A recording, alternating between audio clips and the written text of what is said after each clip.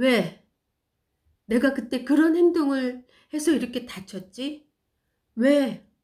왜? 왜? 그 아이는 왜 볼팅하려 했을까? 내가 잘못한 게 뭐지? 그렇다면 어떻게 볼팅을 막을 수 있을까? 여러 가지 생각들이 주마등처럼 스쳐 지나가는 거예요. 아, 내가 초보자라서 이런 경험을 하게 되는구나. 난 아직도 멀었네. 여러분 안녕하세요. 요즘 음, 영상 올리는 것이 좀 뜸했죠. 음, 실은 제가 매일 다른 학교를 가서 밴쿠버 초등학교, 중고등학교를 소개하면서 제가 하는 일을 소개하려고 유튜브를 시작했는데 어, 하다 보니까 하는 일이 계속 똑같은 거예요. 제가 온콜로 전화를 받고 또 학교가 어느 지역에 있는지 소개하고 오늘은 또 어떤 아이를 맡고 또 그 아이에게 해줄 말, 또 그리고 아이를 어떻게 돌보며 대처하는지에 대해서 말하다 보니까 반복해서 말하게 되던 것을 발견하게 되었어요. 실은 제가 이 유튜브를 통해서 좀 더 알차고 또 여러분이 들어서 재미있고 그런 정보를 제공하고 또 서로 격려하고 위로하는 말을 하려고 하는데 말이죠. 그래서 어, 이제 학교를 소개하는 것보다는 제가 일상적으로 살아가는 그런 이야기로 영상을 올려볼까 해요. 괜찮죠? 실은 이런 생각을 하게 된 계기가 있었어요. 여러분이 알다시피 제가 EA로 일을 시작한 것이 3월이었잖아요. 실습 그 2개월 동안 한 아이만 맡게 되니까 여러 아이들을 만나볼 기회가 없었는데 본격적으로 이제 3월부터 일을 시작하게 되면서 여러 증상의 아이들을 만나게 되더라고요. 어, 유치원에서 시작해서 또 고등학교에 이르기까지 어떤 때는 학생이 안 나와서 그냥 학급에 있는 부지나 학생들을 그 어, 가르치기도 하고 또 돕기도 하고 또 어떤 선생님은 자기가 가르치는 수업 내내 그 수학 문제를 전체 학생이 끝내기는 처음이라고 하면서 고맙다고 칭찬하기도 했어요. 그래서 자기 학교에 와서 도와주면 좋겠다고. 그래서 아 제가 교장선생님한테 말씀드리라고 그렇게 말을 했어요. 어, 그럴 땐 참 기분이 참 좋죠. 또 어떤 때는 그 주의력 결핍 증상이 있는 ADHD 그 평범한 아이를 만나기도 하고 또 그렇게 잘 다녔어요. 그런데 어느 날 어, 교실에서 뛰쳐나가는 그 running away 어, 특히 볼팅 차이들을 만난 거예요. 여기서 볼팅에 대해서 어, 알아볼까요? 이 도망이라고 알려진 그 볼팅의 의미는 아이가 허락을 받지 않고 그 부적절하게 바로 그 지역을 떠나는 것을 의미합니다.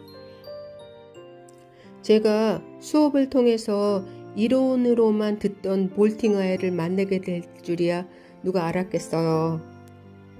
그 볼팅은 새로운 그런 선생님을 만나면 나타나는 그런 증상이라 그럴까?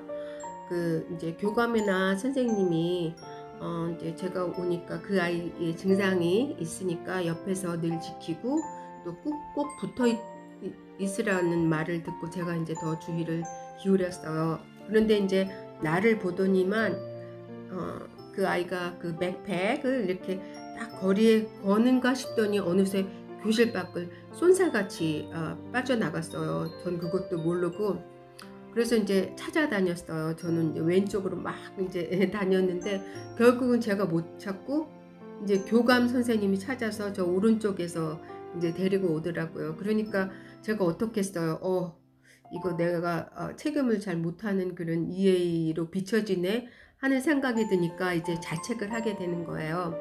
그래서 이제 잘 지켜야 되겠다 싶었는데 어느새 또, 또 도망을 가게 됐어요. 그래서 두 번째 그런 놓치면서 그 아이를 놓치면서 경험을 하게 되니까 저로서는 이제 예방을 해야 되겠다라는 고 싶어서 이제 그, 그 교실 문을 닫았어요. 그랬는데 이제 recess time 그 밖에서 15분간 그 운동장에서 놀다가 이제 들어오는데 그 시간이 끝나고서 교실에 들어와서 이제 모든 아이들이 선생님의 그 주도하에 수학 문제를 풀고 있었는데 그 아이는 그 수학 문제 풀지 않고 그냥 바닥에 놓여 있는 그 beanbag chair에 앉아 있는 거예요. 여기서 잠깐 beanbag chair가 뭔지 여러분에게 보여드릴게요. 그리고 이 말이 beanbag chair랍니다.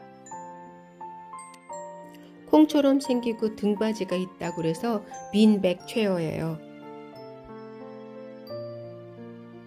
너무 그 오랜 시간 그렇게 앉아서 있어갖고 어 얘를 공부시켜야 되겠다는 그런 그 한국 엄마의 강한 그런 어, 원동력이 발동이 되어서 이제 제자리로 가서 너 앉으라고 이제 했어요. 그랬더니만 제 말을 듣지 않더라고요. 이제 그래서 선생님이 오셨어요. 선생님이 오셔서 어, 가서 제자리에 가서 앉아서 이제 어, 네 수학 어, 문제를 풀라고 그랬더니 선생님 말을 듣는 거예요. 제 말은 안 듣고. 근데 이렇게 일어나는가 싶더니만 곳에 쏜살같이 교실을 슉 하고 빠져나가는 거예요. 아팠어. 아, 선생님이 그만 교실 문을 열어두었던 거예요.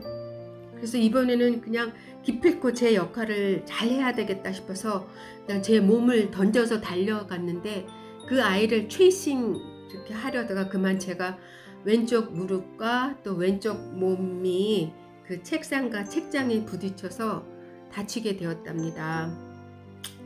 그런데 그 감사한 것은 그 선생님께서 신고를 해주시면서 자기가 어, 어, 증인이 되어 주셨어요.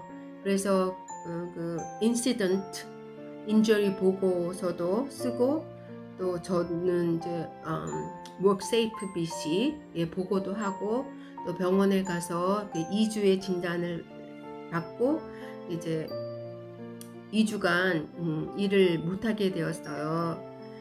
이제 침대에 누워서 통증을 느끼면서 쉬는 동안 성찰을 하게 되는 거예요. 왜? 내가 그때 그런 행동을 해서 이렇게 다쳤지? 왜? 왜? 왜?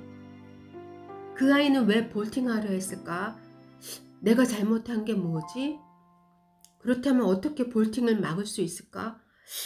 여러 가지 생각들이 주마등처럼 스쳐 지나가는 거예요. 아, 내가 초보자라서 이런 경험을 하게 되는구나. 난 아직도 멀었네.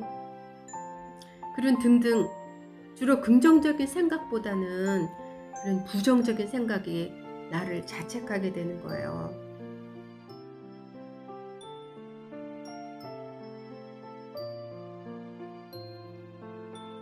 여러분, 이런 부정적인 생각이 들었을 때 주로 어떤 생각을 하시나요? 내가 과연 잘 할 수 있을까라는 열등의식 쫙 몰려오질 않나요?